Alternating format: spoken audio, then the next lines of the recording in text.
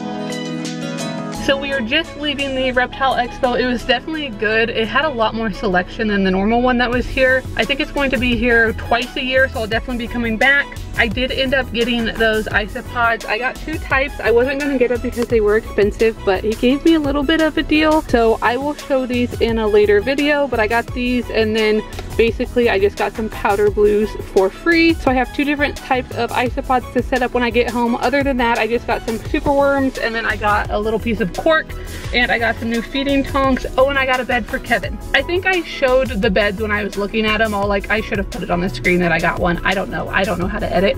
Um, but that is going to be it for today's video. Hopefully you guys enjoyed this expo vlog. If you did, make sure you give it a big thumbs up. Make sure you subscribe down below and I will see you guys next time.